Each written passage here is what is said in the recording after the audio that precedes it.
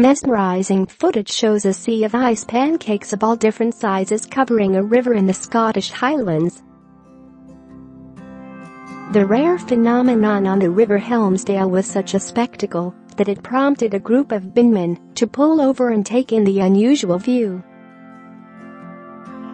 Binman and nature photographer Daniel Norrie, 31, took photos and video of ice pancakes that are caused when pieces of ice knock together and create circular shapes.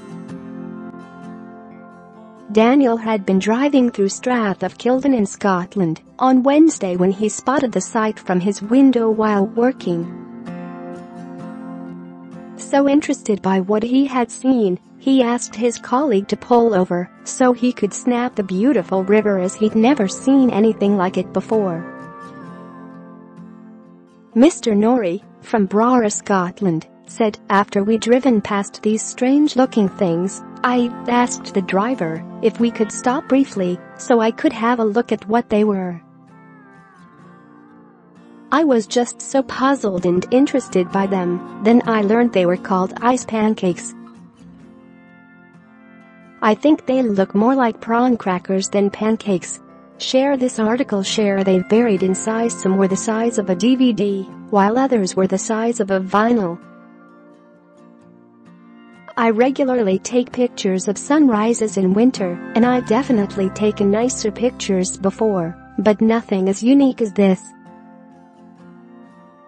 Mr. Norrie, who regularly takes pictures of winter sunrises while on the job, admits these images are his best yet.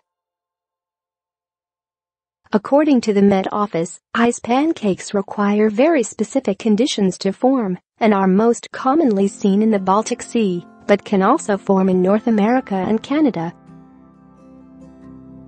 The discs formed can measure anywhere between 8 and 80 inches and are described as a unique spectacle.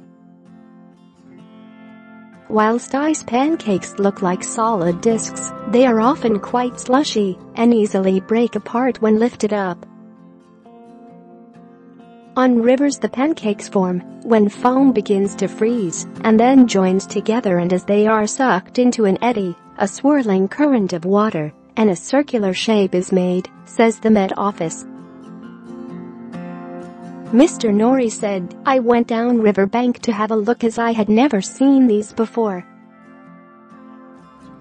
It was clearly ice, but I couldn't figure out how the pancakes had formed, so I had to do some research. I had no idea they were so rare, I'd never seen anything like them. As far as I read, they're caused by foam freezing and bouncing off other bits of frozen foam,